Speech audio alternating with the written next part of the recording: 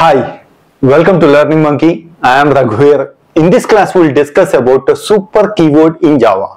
In our previous classes, we clearly discussed about method overriding and how instance, the execution flow is going to check the instance variables. These concepts we discussed in our previous classes. Please watch the classes and come back here. The link for the playlist is provided in the description below. Coming to today's class, we are going to use the same examples which we used in our previous class. Let's refresh the concept. So first we try to understand the super keyword is used to used in three ways in Java. One, the first way is we are going to call super class variables. Second one is super class methods. We are going we are going to use this keyword to call the super class methods and we call the super class constructors. So with example, we are going to understand one by one. First, how we are going to call the super class variables. Uh, let's take this class, class A. In this class, we are having an instance variable int p is equal to 30 and class B extends A. See, this is super class and this is subclass. Whenever we are using this inheritance concept, we are going to use this super keyword. Now, we need to understand uh, in class B, we are having a variable called int p is equal to 50 so now in the method M2, we are using C is equal to P plus P. Means uh, how the execution goes we already discussed in our previous class. It is going to check the value of P in the present class. In class B, yes, P is available. So it is going to get the value from here. Class B, P is equal to 50. 50 plus 50, which is 100, is assigned to C. Our output here is 100. Suppose if the programmer wants to use the variables that are available in the super class. So what's the super class for B? It is A. If you want to use the value P is equal to 30, how we are going to use that? Using the super keyword, we are going to call the super class instance variables. Take the example, next example. Here we have written as C is equal to super dot P plus P.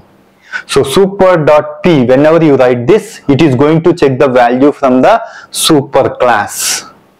See, if you are having multi-level inheritance, so super dot p is going to check the value in the above inheritance levels, the first occurrence of p it is going to get. So with example you will get clarity. So in the above inheritance level, the first occurrence of p means what is the inheritance level above this a? Here it is going to check. If it is not there above. If it is not there above. Like that it is going to check. It is going to identify the first occurrence of p. So above. We already occurred here p. P is occurred here so it is going to get the value from here. P is equal to 30 so 30 plus p. P means going to check here. 30 plus 50 80 so in this example our output c is 80 we will understand multi-level inheritance uh, for the super keyword. So let's take class A. In this class A, we are having instance variable P. And in class B, we are having instance variable Q. And in class C extends B, it is going to have your instance variable P. So whenever you are going to use super.p, it is going to check the inheritance, check the super classes. So the first occurrence of super class is B. Is there P here? No. So it, it goes and check the next occurrence of superclass.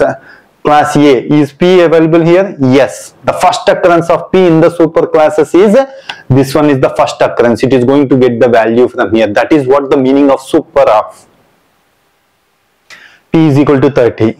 So 30 plus, here the output is 30 plus, here it is 70. 30 plus 70. How much is the value? 100. So our output is 100 suppose assume that suppose assume that if you change this int q is equal to 50 to p int p is equal to 50 whenever you call super.p off uh, from where it is going to get. It is going to check the first occurrence of super class which is uh, here if it is p p is equal to 50 so it is going to get the value 50 down and it is going to use here the first occurrence in the super classes so 50 plus 70 which is uh, 120 our output is 120 so that point is very very important that's why we repeated two times now coming to how to use super keyword in order to call the methods that available in our super classes So it's very easy once you understand the concept class A1. In this class we are having method M1 and class B1 extends A1. In this class we are having method M1.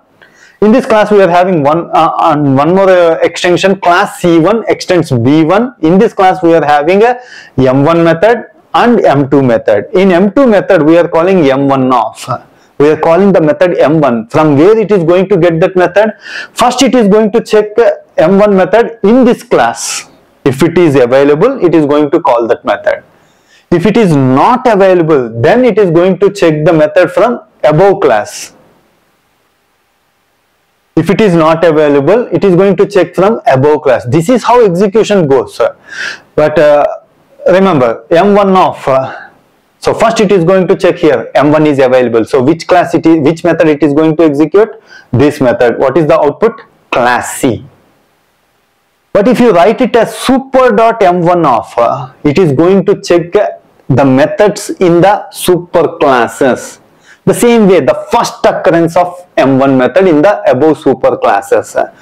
So what is the first occurrence? in B1 we are having M1 method. So this is going to be executed. Our output is class B. If M1 is not available here it is going to check above. The first occurrence of M1 method in the super classes so this is how we are going to use the super keyword to call the superclass method. Similarly, we are going to use the super keyword to call the superclass constructors. So class box int length, int width, int height. So box of int LWH. So this is a constructor because of this is a same names. Whenever we call the constructors, it is going to assign the L value to length, W value to width, H value to height. So in this class box, we are having a constructor and a volume method. Now class weight extends box. In this class weight, we are having an instance variable int weight of but we are having a constructor weight of L, W, H, W, T. See here, this L, W, H, we are going to use these variables, the values that present in those variables to assign to length, width, height instance variables. But the length, width, height instance variables are available in class box, which are available in super class. So in this type of situations, if you want to assign values to the superclass instance variables, uh, we are calling super of, uh, we are sending this LWH values to superclass constructor. It is going to call the superclass constructor. So whenever it calls the superclass constructor, this LWH is assigned to length, width and height. Then after that it is going to execute weight is equal to WT. So weight is assigned with WT, LWH is assigned to length, width and height instance variables available in superclass. But one important point you need to understand the when in the constructor the first line of code should be super. If you write it in the second line it won't work.